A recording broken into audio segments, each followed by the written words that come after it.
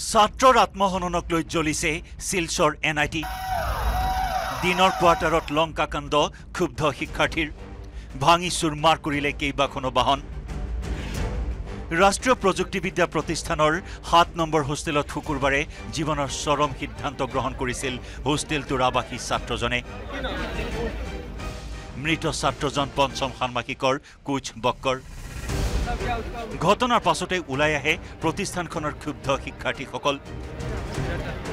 দিন ডক্টৰ বিনয় কৃষ্ণ ৰয়ৰ নিৰ্যাতন আৰু গাফিলতিৰ বাবেই ছাত্ৰজনে অপমৃত্যুৰ পথ বাছি লোৱাৰ অভিযোগ ক্ষুব্ধ শিক্ষাৰ্থীসকলৰ। কেইবাটাও বেকলগ আছিল মৃত কোচ বক্কৰৰ।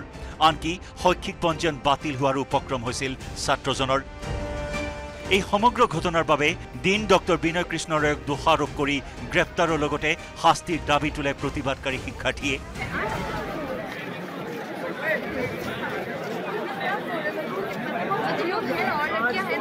ये देख ये घर दिख रहा है तेरे को ये घर दिख रहा है घर का जो सेम छः बजे के अप्रोक्स में घटना क्या है मतलब घटना वो स्टूडेंट सुसाइड कर लिया है यही घटना है किसके कारण वो घटना मतलब सुसाइड किया सुसाइड अब ऐसा सुनने में आ रहा है कि उसको बहुत बैक लगा हुआ था एग्जाम्स उसका क्लियर नहीं हो रहा था तो अब कुछ इश्यू हुआ है अब पता नहीं ये न्यूज़ सही है कि नहीं बट ऐसा बोला जा रहा है कि उसका पेपर फाड़ के फेंक दिया गया या फिर ऐसा कुछ हो गया तो इसके लिए अ, पूरा क्लियर नहीं है हम बट हमको ऐसा सुनने में मिला है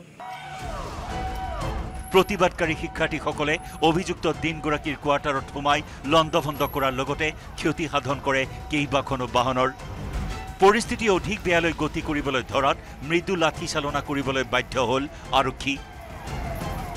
এই ঘটনাত কেইবাজনো আৰক্ষীসহ আহত হয় বহু সংখ্যক শিক্ষাৰ্থী।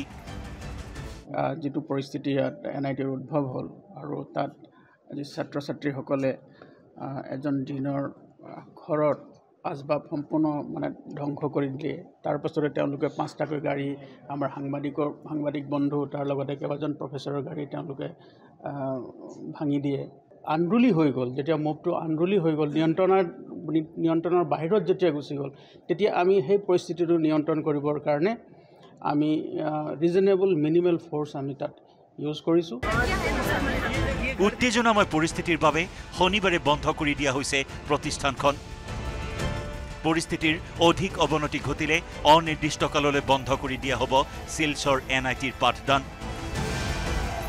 সম্প্ৰতি আৰক্ষী আৰু নিৰাপত্তাৰক্ষীয়ে তীক্ষ্ণ নজৰত ৰাখিছে প্ৰযুক্তিবিদ্যা প্ৰতিষ্ঠানখন।